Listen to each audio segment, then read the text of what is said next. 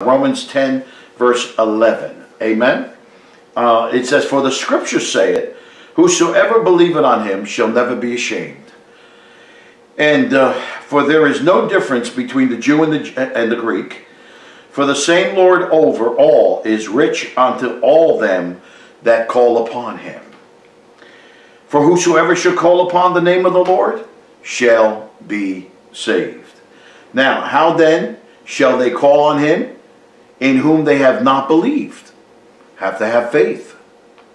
That's why he says without faith it's impossible to please him. Years we believe that the only way that you can get faith is by just hearing the word of God. In other words, somebody has to preach it to you. You have to sit in the church and hear it. Certainly that's true. But also, faith cometh by hearing you speak.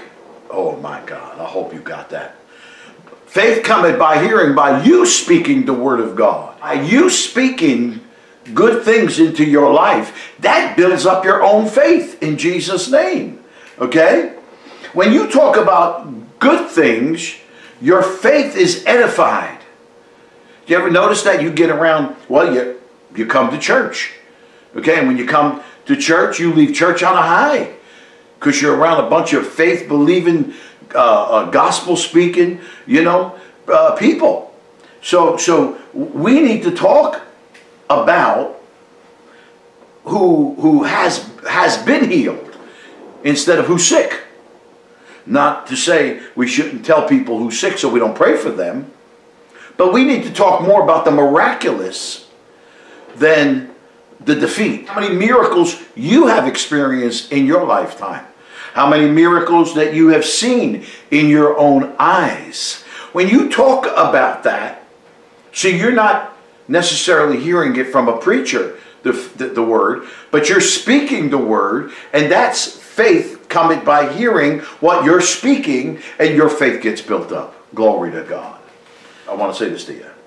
Our immune system reacts to the information we feed it. My God. I'm going to say it again. You better believe it. I want you to write that one down.